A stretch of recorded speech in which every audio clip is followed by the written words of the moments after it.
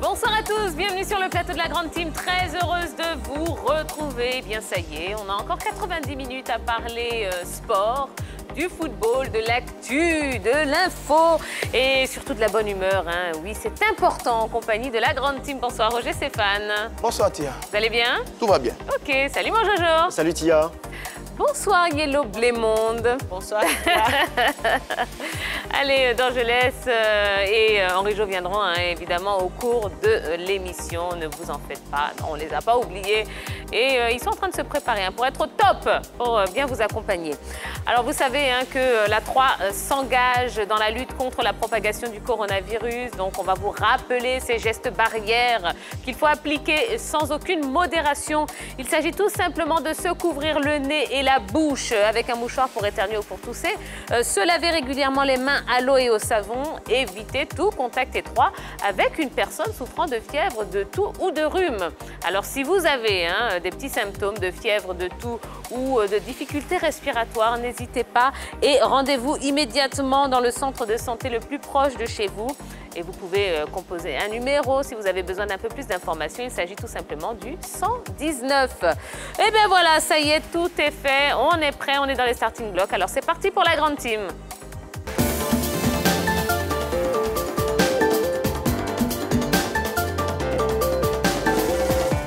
Invité de ce soir, euh, c'est l'un des attaquants euh, les plus célèbres de l'histoire du football ivoirien. Sa carrière, il la débute à l'Africa Sport d'Abidjan avant de rejoindre le FC Sion en Suisse, euh, puis le Sporting Portugal et bien d'autres clubs en Europe. Il revient au début des années 2000 pour terminer sa carrière en Côte d'Ivoire. Ce soir, la grande team est très heureuse de recevoir sur son plateau monsieur Ahmed Ouattara.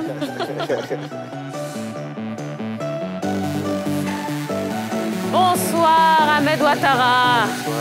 Comment allez-vous Bien et vous Ah ben super, super. Jolie chemise, hein Merci. Ah oui, vraiment joli. hein. Ouais. Parfait.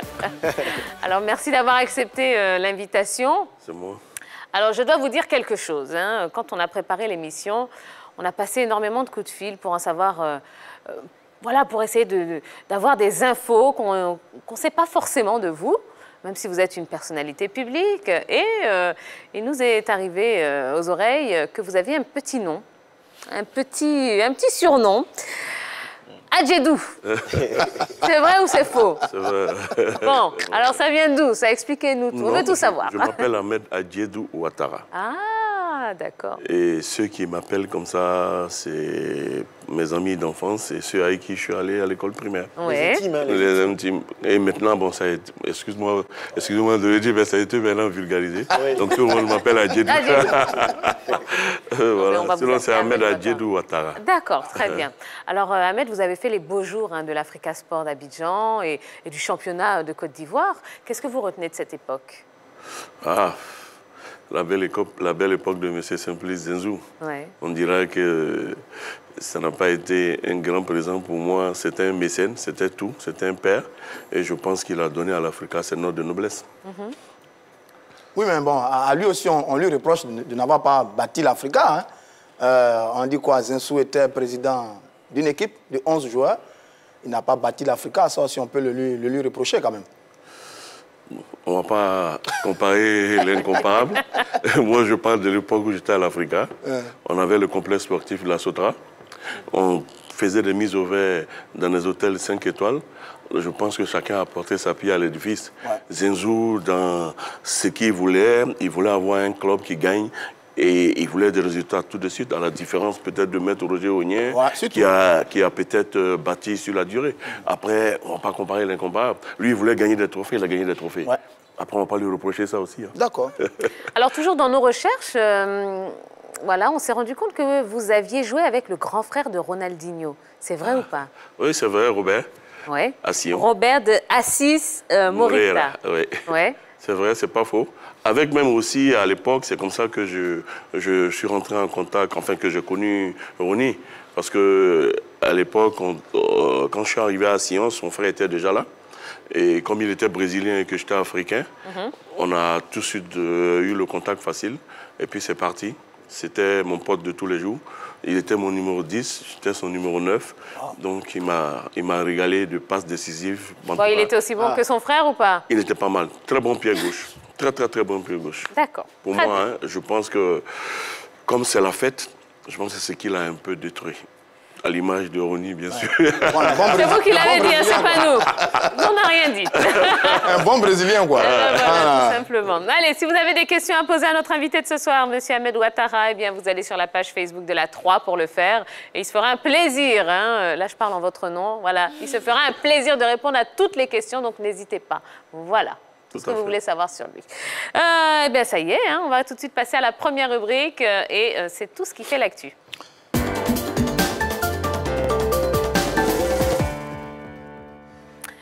Et c'est l'affaire de Roger Stéphane. Oui, Patrice Baumel, le nouveau sélectionneur des éléphants de Côte d'Ivoire, est au travail. Eh bien, il a dévoilé sa vision et ses objectifs avec notre équipe nationale dans une interview. Oui, Alors, Patrice Baumel, hein, euh, qui, dévoile, euh, qui dévoile sa vision. Euh, est-ce qu'un bon adjoint peut être un bon sélectionneur titulaire? C'est la question qu'on vous pose sur la page Facebook de la 3, ici également en plateau. Un sélectionneur, donc un bon adjoint, peut-il être un bon sélectionneur titulaire? Oui ou non sur les ardoises? Et puis on en parle. Allez, on y va, on lève les ardoises. Ah, tout le monde me dit oui, sauf Jojo. Ah oui. Euh, attendez, Jojo, on va laisser la priorité à Ahmed Ouattara. Donc, pour vous, oui. Pour moi, oui. Mhm. Mais dans le cas à Bommel, euh, je pense qu'on aurait dû pendant le quand il est parti, Rena, c'est là où il fallait qu'on garde Baumel pour la continuité. Malheureusement, il est parti au Maroc avec euh, Rena. Et là, il revient. Il n'a pas les mêmes joueurs. Quand vous regardez, peut-être 50% de l'effectif qui a gagné cette canne en 2015 n'est pratiquement plus dans cette équipe. Donc, c'est une nouvelle génération. Donc, il arrive, pour moi, il fait un saut dans l'inconnu. Mais pour moi, la continuité aurait été pour, moi le euh, plus sage. Pour vous, euh, c'est pas l'homme de la situation, Bomel? Non, je pense pas. D'accord. Mais ça, ça n'engage que moi. Hein. Bah, ben, absolument, absolument. Toujours, vous avez dit non. Euh, non, pas forcément. Moi, je pense qu'il y a des adjoints ou seconds qui sont très bons dans leur rôle de, de second. Hein. Voilà, quand, ils arrivent euh, au devant des choses, après tout s'écroule. Hein. moi, je connais comme ça un, gars qui était cinquième de la classe. Il, il aimait être cinquième de la classe. Voilà, parce qu'il excellait dans son voilà, rôle il excellait dans son rôle de cinquième. Il ne voulait pas être premier parce que le premier allait faire toutes les compétitions de représenter l'école partout. Et lui, il savait que s'il allait représenter son école, franchement, ça allait, ça, ça, allait être galère pour lui. Hein. Voilà. Donc, vous êtes d'accord avec moi, monsieur Ahmed Je suis d'accord. c'est ça. Hein. Je partage ton avis. autant est d'accord lui. Hein. Hello. Ah rien. Alors, rien ne garantit qu'un bon...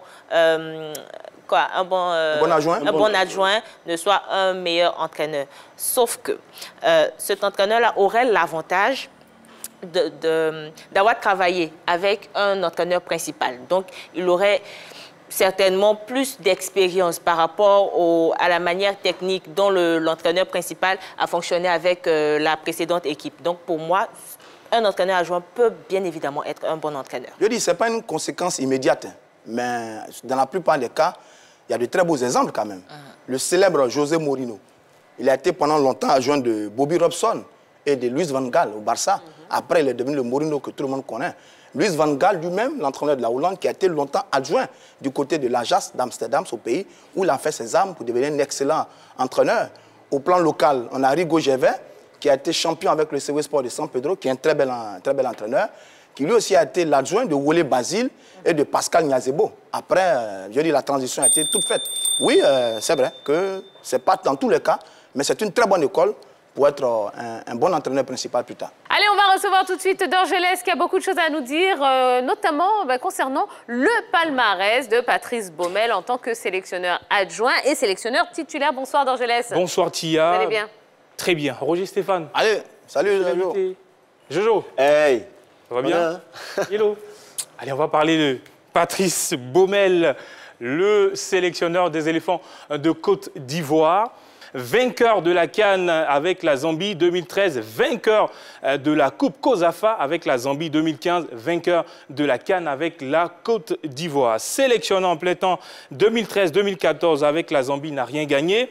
U23 du Maroc sélectionné en plein temps, éliminé des qualifications euh, pour la Cannes U23 et des JO 2020. Tia. Merci beaucoup, Dorgelès. De rien, Tia. À tout à l'heure. Alors, c'est vrai que quand on regarde un petit peu euh, bah, ce, palmarès, on voit qu'en tant qu'entraîneur euh, euh, entra- entraîneur principal, bon, le palmarès est un peu vierge. hein, Est-ce que est-ce à dire qu'il serait meilleur en tant qu'adjoint plutôt qu'en tant que titulaire? Ahmed Ouattara. Moi aussi, j'ai un avis à donner. Je trouve que déjà le timing, pour moi, il est un peu... Bon, Dieu merci, il y a eu la crise du coronavirus. Euh, Donc- Dieu merci, il y a eu la crise du coronavirus. Bon, je ne dirais pas ça comme on ça, dirait, mais bon. il, il est arrivé, il a été nommé peut-être un mois avant. Oui, Donc, je vais dire qu'on avait le match euh, au mois de mars. ça va lui laisser temps, ça va lui le temps de pouvoir parler aux joueurs et tout ça, et de, de, ne, pas, de ne pas être surpris par cette équipe euh, malgache. Mhm. Là, maintenant, on, on pourra dire qu'il connaît l'Afrique, c'est pas faux, mais est-ce qu'il a l'expérience? Il n'arrive même pas à se qualifier avec les Olympiques du Maroc pour les JO. Donc déjà, quand il est numéro un, qu'est-ce qu'il peut apporter en tant que numéro un ou il est mieux en tant que second? Dans tous les cas, il a, il a une belle pression. Parce que c'est de ça qu'il s'agit en ce moment. Il a une pression énorme. Et ça, c'est bien pour peut-être un, un entraîneur. Vu que la Côte d'Ivoire, c'est un pays euh, passionné de football, ça lui met de- une pression supplémentaire. En tant qu'entraîneur, il a gagné de belles choses dans l'ombre d'Hervé Renard. Ça, ça marque un homme. Eh on espère qu'en tant que titulaire, il va réussir euh, les mêmes choses qu'il Bah a, a réussi avec... euh, Il a fait quand même une prédiction. hein. Il a dit que la Côte d'Ivoire devrait être dans le dernier, car- le dernier carré pardon, euh, de toutes les cannes. Il est ambitieux quand même, c'est bien. Il, est- il- Il il a de la, l'ambitieux. la- la Côte d'Ivoire devrait être. Là, il devrait, c'est vrai. Sinon, la Côte d'Ivoire, normalement, on est une grande nation de football. Donc, euh, quand il vient entraîner cette équipe-là, il sait déjà ce qu'il attend. Oui. Il sait que nous, minimum, c'est les, les demi. Ah oui Parce qu'on ne fait plus de la figuration. On ne peut pas être à ce, à ce stade de la compétition parce que aller jouer la canne pour nous, il faut la gagner. Puisque dans trois ans, c'est en Côte d'Ivoire. Donc on prépare l'équipe pour 2021 et 2021, 2023 à Abidjan. Absolument. Et en même temps, en temps, tu glisses le mondial. Donc nous, on a des ambitions très, très, très, très, très élevées. Ah, il a raison. hein. En tout cas, euh, Patrice Baumel a vraiment intérêt à nous faire partir euh, jusqu'en demi-finale ou bien en finale. Parce qu'avec ce stop-là, qu'on a eu après 2015, on n'a rien gagné. On était vraiment malheureux. Euh, J'ai beaucoup pleuré avec mon ami euh, Pipo. Bon, après, euh, s'il vient et il nous fait remporter la Cannes 2021, ça sera bien. Parce qu'on n'a pas envie de pleurer encore. Donc il a vraiment intérêt à nous faire gagner la Cannes. Il a la. Ouais, heureuse- heureusement d'ailleurs qu'il l'a bien compris, hein, mon cher, le, le cher euh, Baumel. Parce que pour nous, les Ivoiriens, euh, tout autre résultat en dehors du sacre final, euh, d'une finale perdue ou de la demi-finale, c'est un mauvais résultat. Parce que, comme dit le Ahmed, euh, c'est une grande nation de football qui a un rang à tenir, qui doit se faire respecter. Donc, il a bien compris la, la- la pas- la passion et la pensée des, des Ivoiriens. Parce que nous, on, on doit lui mettre la pression pour nous faire gagner la Cannes comme ça a été le cas en 2015.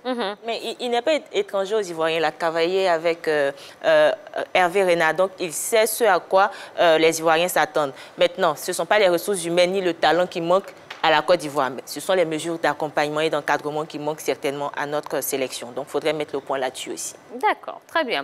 Euh, Ahmed Ouattara, on va reparler un petit peu euh, bah, de vous et de votre belle carrière. hein. On se rappelle tous euh, de ce but lors du match euh, de, de classement hein, lors de la Cannes euh, 1994. C'était face au Mali. Euh, on, se rappelle même que le roi Pelé s'était levé. hein. Euh, Est-ce que c'est pour vous, est-ce que ça fait partie de, de vos plus beaux souvenirs de carrière? Pour moi, c'est mon plus, mon plus beau souvenir. Ouais. Je pense que On l'a d'ailleurs quand, ouais. quand tu marques un but et que le roi Pelé même, qui est considéré comme le plus grand de tous les temps, se lève et applaudit, quelque part c'est une reconnaissance. Je pense que quelque part c'est là où est partie même ma carrière, parce que c'est là où il y a eu ce déclic-là et que tous les clubs eu- européens me courtisaient. on va dire. Oui, mais ce souvenir-là, on ne peut pas l'oublier. hein. La Cannes 94 avec euh, Henri Caspezac. Je crois qu'on a été élu la meilleure équipe du tournoi et classé troisième. Et puis vous avez fait ce match-là, mais exceptionnel. Mais il y y, en a d'autres aussi. Il y a eu 92. Euh, Votre entrée face au Nigeria, éliminatoire du mondial. Euh, c'est bien ça. hein. Tout à fait. Et puis ouais. 98 Ouais, aussi. ouais, 98 au Burkina, ouais, on va dire. c'est vrai que j'ai eu des moments comme ça où, Ah oui, mais- où j'ai apporté du bon au cœur des Ivoiriens. Ouais, mais c'était magnifique, magnifique. Une question. Après le but, euh, voilà, face au Mali, en 94, là, et puis le roi Pelé s'est levé, est-ce qu'il vous a donné un peu d'argent? Jean, mon petit, euh, est-ce que 10 000 là-bas, euh, 15 000 Parce que vous avez, vous avez été content hein, de voir le, le roi Pelé se lever. Est-ce que... Déjà, ça, c'est c'est mieux que tout pour moi. Ah, c'est pas vraiment mieux, il n'y a, pas- il y a pas un peu d'argent. Pelé ne distribue pas l'argent comme Pelé ça. ne distribue pas l'argent. Il se lève et puis après, il me donne rien. Vous n'alliez pas être content? Non, pourquoi? Après, j'ai besoin des sous. Hein. Kofi Gombo. Kofi Gombo.